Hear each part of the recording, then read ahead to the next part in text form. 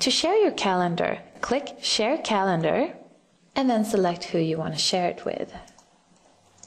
You can request permission to view the recipient's calendar, and then you can select how much information you want to show. Availability only, limited details, or full details. I always recommend that you choose full details. Remember, none of your private details will be shown. And then I'll send this.